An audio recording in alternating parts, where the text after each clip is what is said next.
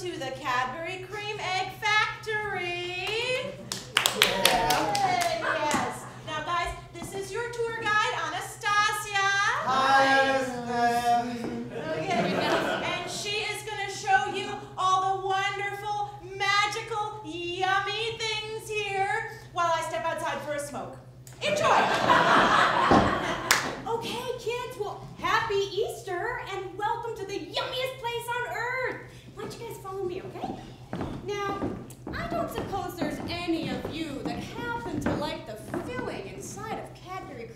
I do, I do, I do, I do, I like the center. Wait, because we make that right here.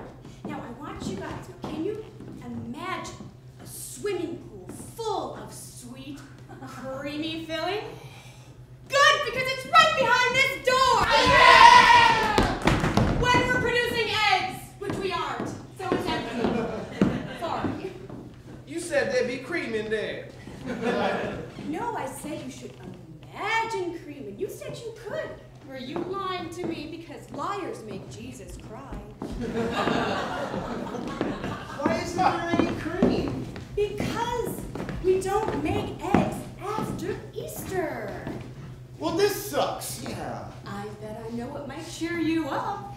How about a river flowing with chocolate? A chocolate river like, like Willy Wonka? Exactly like Willy Wonka! Miles and miles of a that you can just dip your head in and drink from.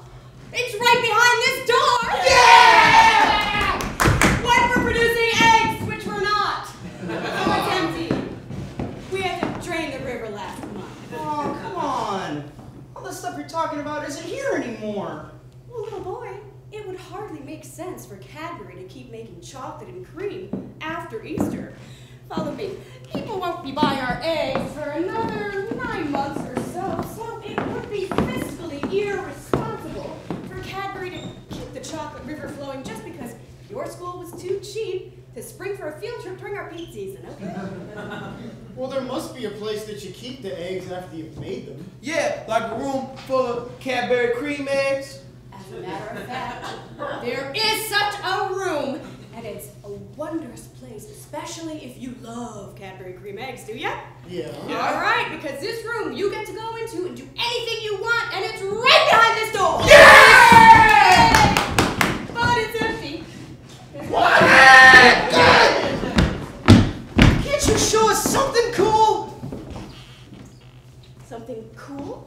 Well, yeah. I mean, like, like maybe the bunny from those commercials. Oh, oh, oh, is he That here? is a terrific idea, and as a matter of fact, he is. Follow me.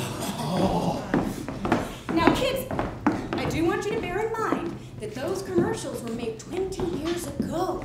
So the Cadbury Creme Egg Bunny died long